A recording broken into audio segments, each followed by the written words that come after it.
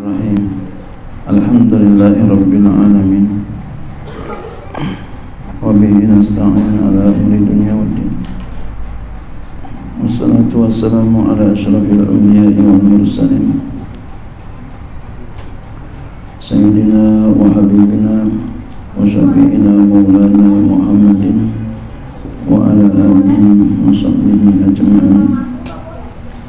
سبحانك لا علم لنا إلا ما علمتنا إنك أنت العليم الحكيم ولا حول ولا قوة إلا بالله العلي العظيم أما بعد قال مصنف رحمه الله تعالى وأدام نفع بعلم في دارين آمين وثالثها إيتاء الزكاة أي إعطاؤها لمن وجد من المستحقين fauran idza tamakkana minal adai ma'a ujubi ta'mimi wa huwa wa anwa'i. Suha dan yang ketiganya rukun Islam. Ita'uz zakati yaitu memberikan zakat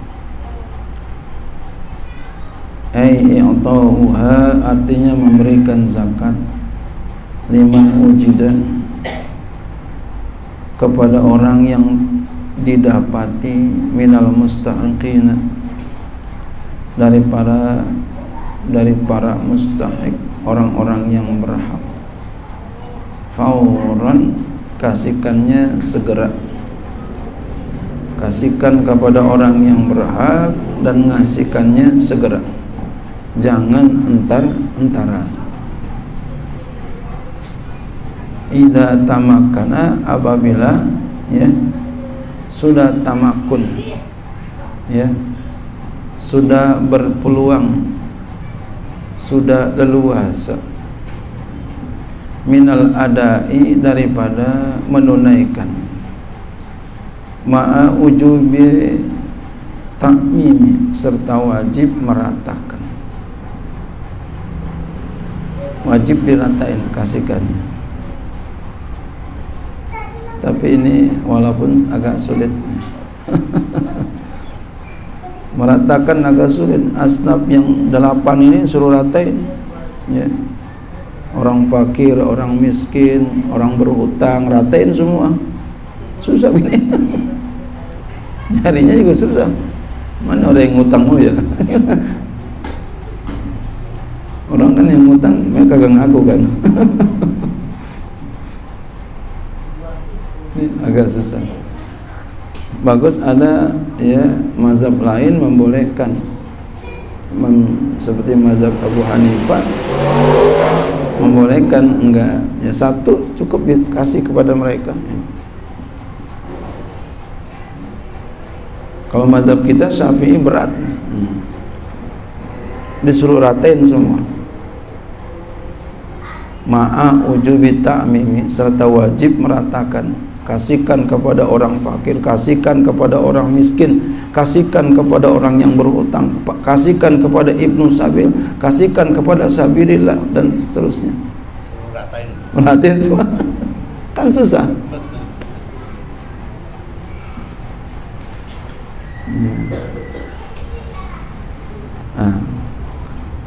Ada yang mazhab yang lain bolehin satu aja. Dan ini tradisi kita. Kita biasa begitu kasih udah. Kayak aja udah Ustaz aja kasih. Gitu biasa gitu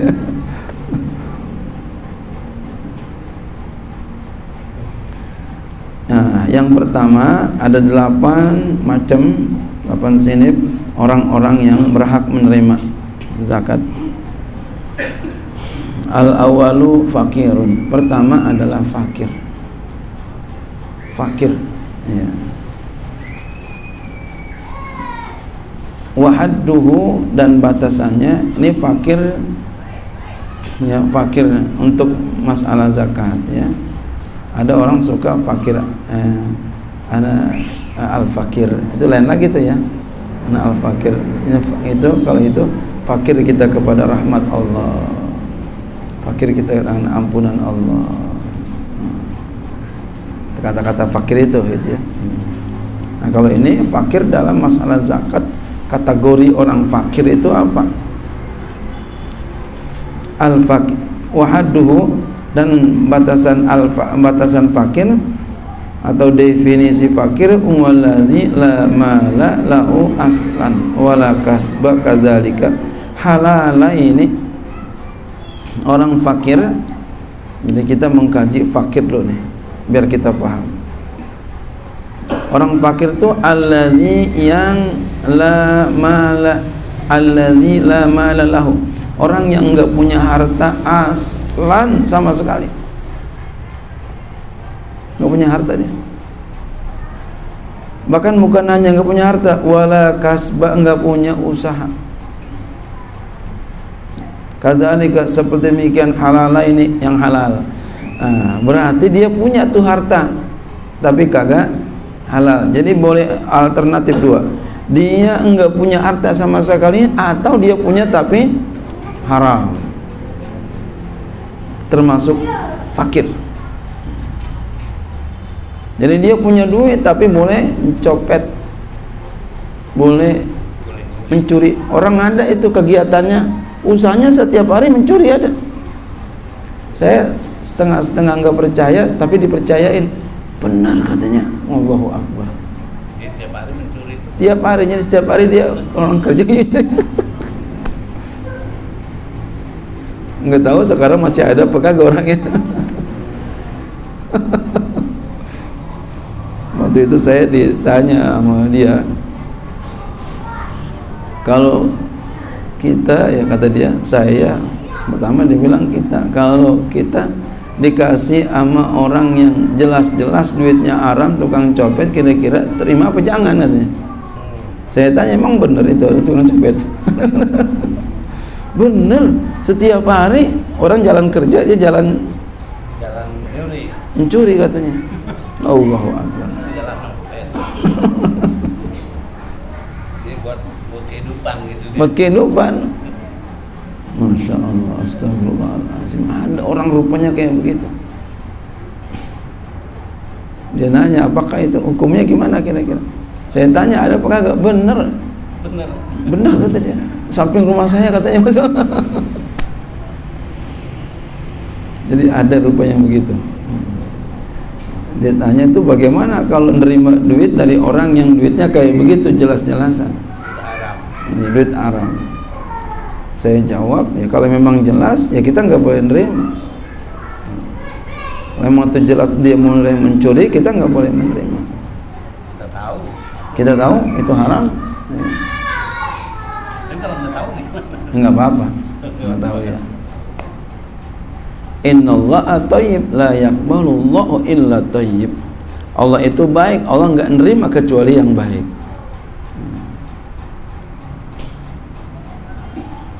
Jangan terima kalau kita- tahu itu haram, ya, jangan. Sama dengan duit palsu, Pak. Ya, orang kasih kita duit palsu. Dapat kita duit palsu satu aja, jangan dibelanjain. Apain? Bakar. Duitnya bakar. Senayan. Mustahil. Belanja dosa juga. Dosa juga. Kita tahu palsu. kita tahu palsu. Ah, dijelasin wal muradu bil kasbi huna huwa talabul ma'isyati. Ya, dan yang dimaksud dengan kasab di sini yaitu menuntut ma'isyah, menuntut ya kehidupan. Jadi dia nggak punya kasab, hmm, punya ya nggak punya usaha, pengangguran, Ya, pengangguran. Ketahuilah kita kalau usaha dan kita berdoa pasrah kepada Allah tawakal yakin hakul yakin Allah pasti berikan kita. Nggak ada orang di dunia ini ya yang kelaparan lantaran Allah nggak ada kenapa? Karena Allah udah jamin wa ma min dabatin fil ardi illa 'alallahi rizquha. Tidak ada binatang yang melata di muka bumi ini kecuali sudah dijamin rezekinya seperti burung terbang pergi pagi dalam keadaan lapar pulang sore dalam keadaan kenyang.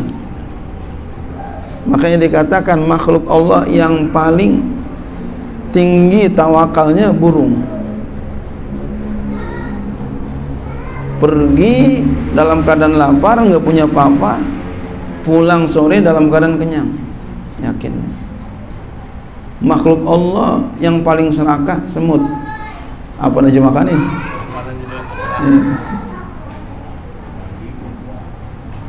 Nah kita kalau kita usaha apa aja lalu kita berdoa kepada Allah insya Allah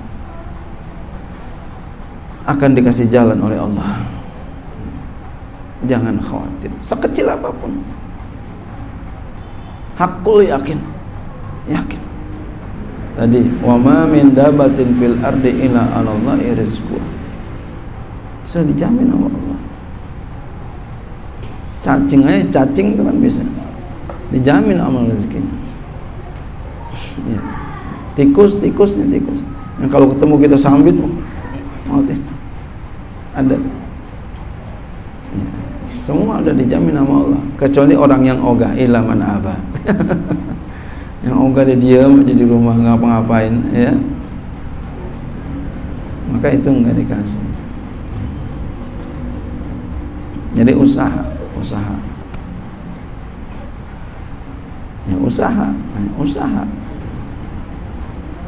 Nggak cukup kita zikir aja di kamar baca Quran aja di kamar ntar juga datang sendiri duit eh bukan begitu. Usaha apa usaha apa? Sekecil apa pun. Ntar Allah kasih. Yakin.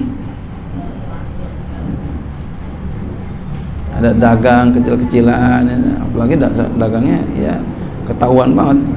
Ya, insya Allah.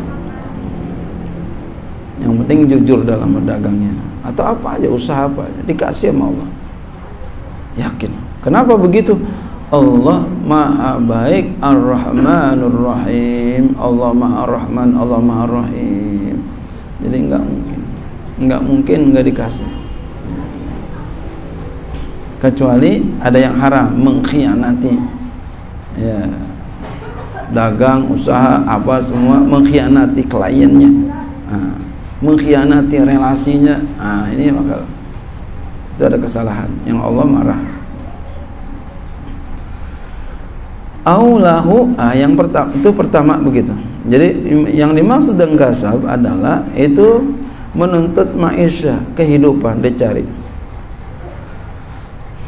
Yang kedua aulahu malun faqat halalun. La yasuddu min jawatihi masaddan min kifayatil umril ghalibi alal mu'tamadi inda tawzi'ihi alaihi in lam yattajir fihi bihaisu la yablughu nisfa ka ayyahtaja ila asharati darahima ya walau wuzi al maru alladhi indahu ala al umri al ghalibi la khassa kulla yawmin arba'atan aw aqalla. Bi khilafi man qadara ala nisfi kafi fa innahu miskinun aulahu malun. Atau dia punya harta fakat saja. Halalun yang haram.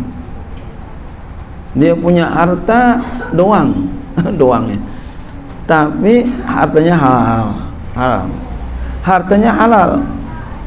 Halal la yasuddu yang tidak menutupi. Min jauatihi daripada laparnya. Ya laparnya perluannya ya. Masadan yang ya di tempat menutupi. Min kifayatil umril ghalibi. Daripada kecukupan umur yang galib umur yang golib. Umur yang golib itu apa? Ya, umur yang golib 63 tahun. Alal mu'tamadi atas kaul mu'tamad inda tauzi'ihi alih jika eh, ketika ya membagi-bagikannya. Alai atasnya in lam yatajir fihi. Atau inda tauzi'ihi. Ketika memperniagakannya. In lam yattajir fihi. Jika ia tidak berdagang padanya. Bi aisu dengan sekira la yablughu nisfa. Dengan sekira tidak sampai kepada setengah. Ka taja seperti bahwa dia butuh ila asyarati daraima kepada 10 dirham walau wuzi al malu atau waza'al boleh begitu? Walau wuzi al malu kau waza'al mala gitu ya wuzi al malu. Walau wuzi al malu jikalau dibagi-bagikan hartanya.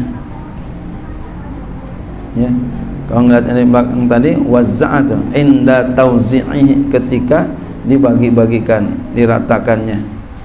Ya diratakannya inda tauzi'ihi ketika dibagi-bagikannya per hari gitu ya.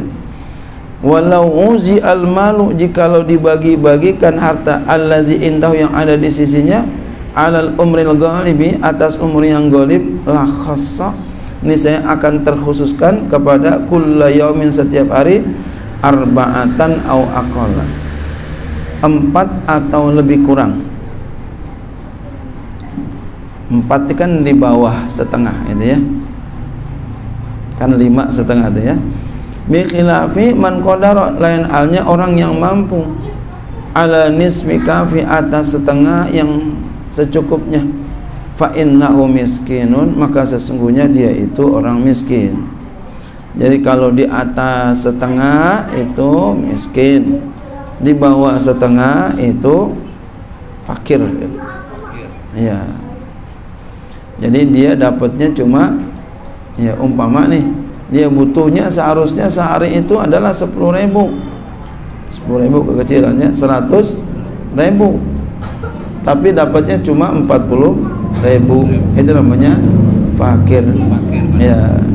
Kalau lebih daripada setengah ya 60 itu namanya miskin wa amma ini tajara dan adapun jika dia berdagang fal ibratu maka yang menjadi tolak ukur bikulli yaumin dengan setiap hari. Ya ukurannya lihat setiap hari katanya. Kalau dia dagang. Tadi alal mu'tamadi inda tausinya alaihi. Wa amma uh, aulahu kasbun atau orang ini mempunyai usaha fakot saja halalun. Usaha yang halal laikun bi yang layak. La yasuddu masadan min kifayatihi kulla yaumin dia punya usaha layak. Halalun. Yang halal laikun bi yang layak. Dia punya usaha yang halal yang layak tapi la yasuddu masaddan min kifayati tidak menutupi akan tempat min kifayati daripada kecukupannya kula yaumin setiap hari. Dia punya usaha tapi usahanya kagak mencukupi. Nah, jualnya agar-agar. Ada ada agar-agar tuh. Iya lagi mungkin lagi susah gitu ya. Lagi sepi. Namanya dagang itu pasang surut. Cing aja ya. Dagang pasang surut. Biasa itu. Ntar ada naik, ntar ada turun, nggak apa-apa. Dagang biasa begitu. Ya. Ini dia dia surut terus ini. Ya, ya sebulan bisa ya suruh terus nggak muncul musim corona kali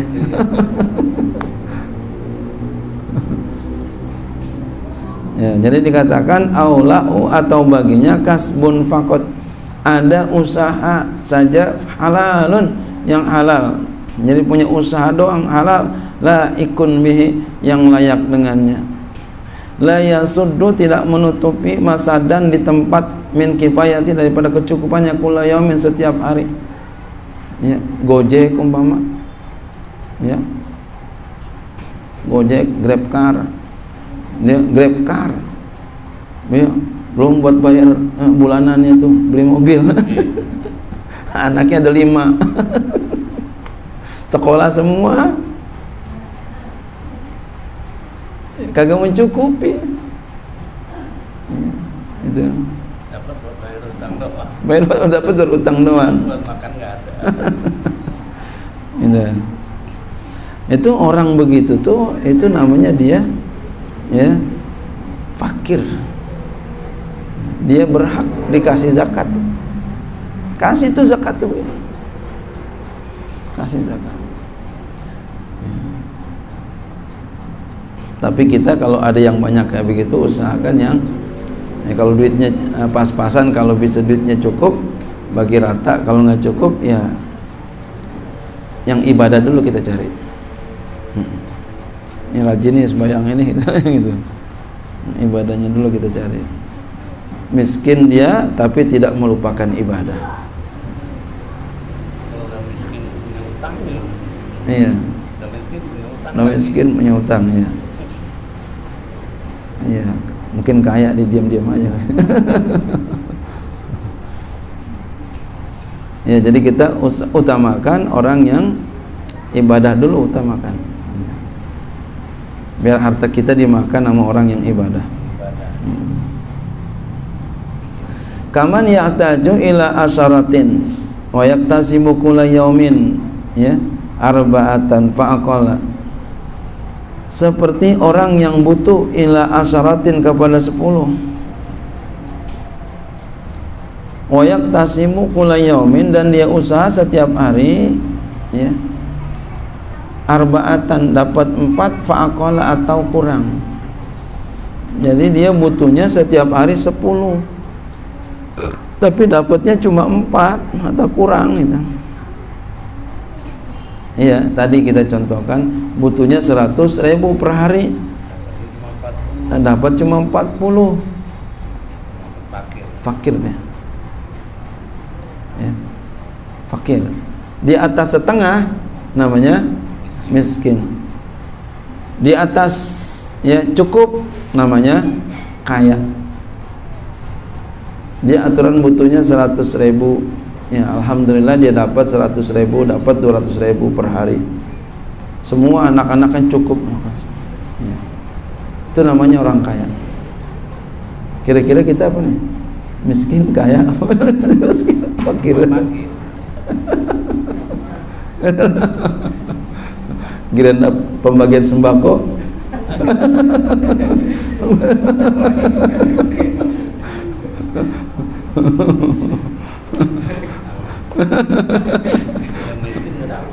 Iya, kalau giliran bagian sembako ngaku miskin semua cing ngaji. gue dapet nih, gue dapet nih. Giliran yang lain aja ngaku kaya dah.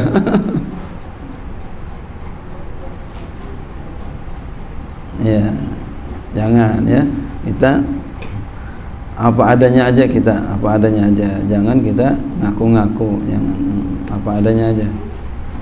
Bagi pembagian apa eh, sama pembagian eh, kurban ngaku miskin jangan dibagi alhamdulillah enggak dibagi juga alhamdulillah sembako pun begitu enggak dibagi alhamdulillah dibagi alhamdulillah itu juga dibagi. Tinggal makan doang.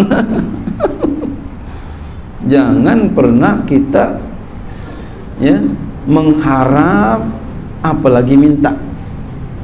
Jadiin prinsip. Jangan pernah kita mengharap apalagi minta. minta. Tapi kalau dikasih ambil sekalipun dilempar. Ya, lempar. Ambil. Jangan Kasih. dikasih ambil.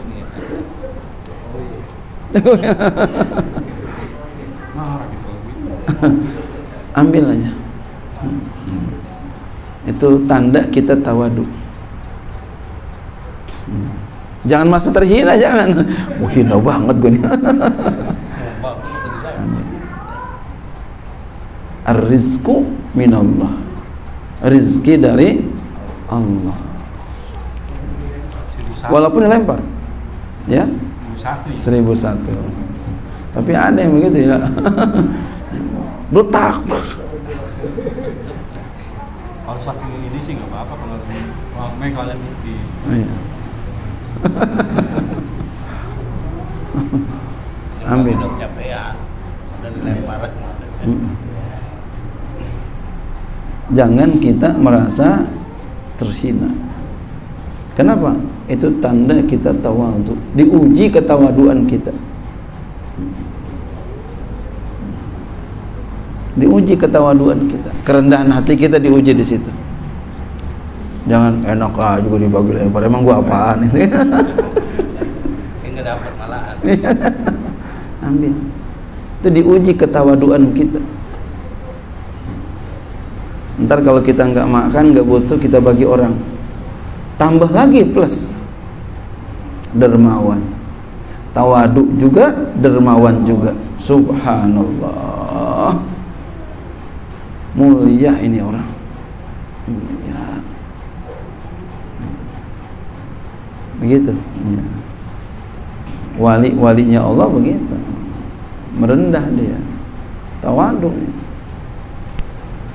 Enggak telak pinggang enggak enak aja. Adat sebagian.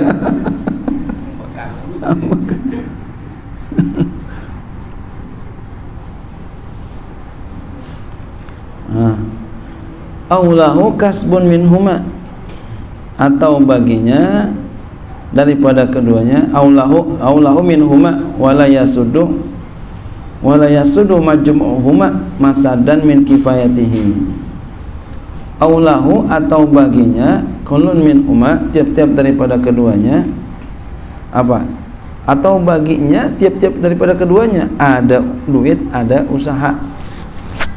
Jadi punya duit punya usaha.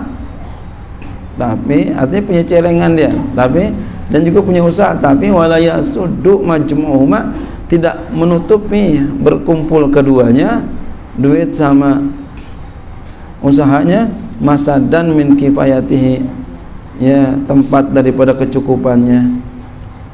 Anaknya ada tujuh anaknya ada delapan. Anaknya ada delapan. Kerjaannya cuma tukang ojek. Kagak cukup. Ada yang kayak begitu ya. akhirnya anaknya nggak kepegang. Nggak kepegang nggak bisa keurus. Pendidikannya kayak begitu makannya pun kayak begitu. Ya kontrakan kagak punya. Kalau punya kontrakan sih enak. Ya. jangan aja. Kontrak lagi malah. kontrak lagi. Ya Allah ya Rasulullah. Memang banyak anak banyak rezeki. Karena apa? Masing-masing anak punya rezeki itu bukan banyak anak banyak rezeki bikin nanti banyak anak. Bukan begitu masing-masing anak punya rezeki. Banyak. Jangan kemudian pengertian banyak anak banyak rezeki ya. Kemudian kemudian kita udah bikin lagi bikin lagi bikin lagi. Kita nggak perhatiin kerjaan kita kita nggak perhatiin urusan kita nggak perhatiin rezeki dia usaha supaya dia punya rezeki. Salah begitu boleh punya berprinsip begitu. Banyak anak banyak rezeki. Kenapa? Masing-masing anak punya rezeki. Tapi kita harus berpikir juga kita punya usaha. Usaha. iya. Jangan banyak anak banyak rezeki, bikin anak aja plot plot plot plot plot ya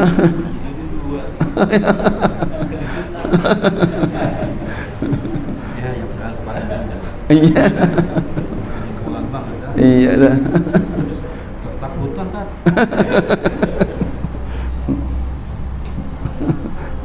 Gimana bi?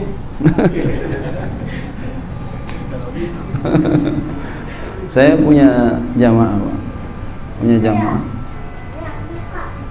Dia anaknya umurnya 68. Anaknya 4. Sekarang udah kawin semua. Dan udah punya rumah semua. Punya mobil semua punya pun rumah. Cuma tinggalnya bukan sama dia udah. Udah bisa semuanya. belakang masing-masing di rumah tinggal berdua doang Mas saya begitu. kata dia kata dia punya anak itu paling dikit tujuh jadi empat ini bukan bukan paling bukan bukan paling dikit eh, eh, anggap seperti kagak ada punya anak iya iya betapa enggak kan anakku udah pada kagak ada semua udah pada pergi semua udah kaya kaya anaknya semua di rumah tinggal nenek-neneknya maki-aki Kalau masih kecil iya masih kelihatan. Kalau udah gede, iya. Kalau orang kantoran, dia bilang kita dia punya anak 10 juta ya.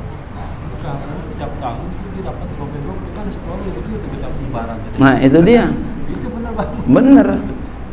Jadi entah ketika lebaran udah gede gede gede gede gede, tuh anak pada bawain duit ya bilang itu. Iya. Iya, benar. Jadi masing-masing anak tuh punya rezeki. Itu bener begitu. Yang salah tuh dia banyakin anak, lalu dia tenang-tenang aja kagak mau kerja, eh celaka.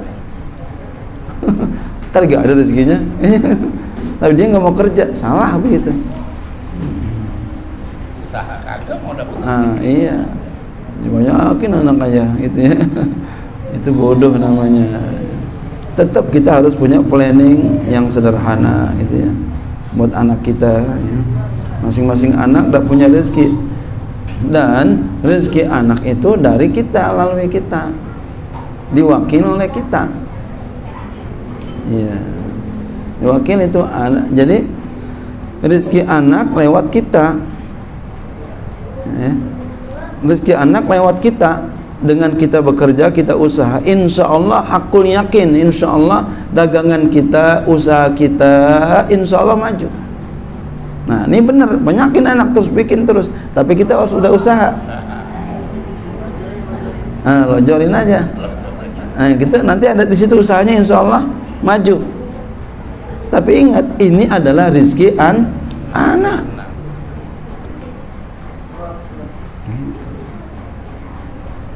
Itu Korea punya penerangan gitu ya.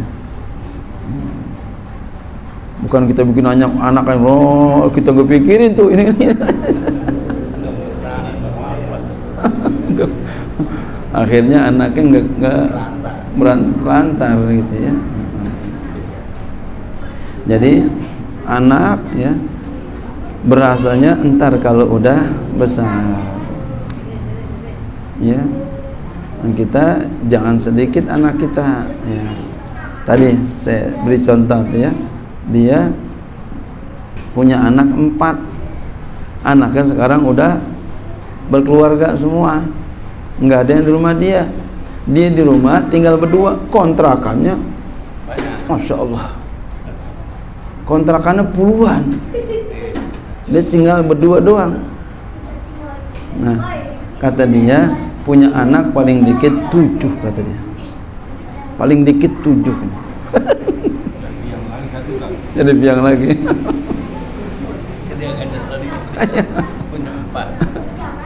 agak nyesel dikit. Kayaknya dia.